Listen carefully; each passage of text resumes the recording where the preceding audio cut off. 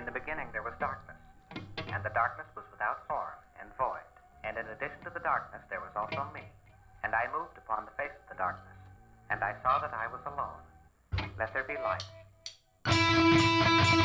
light.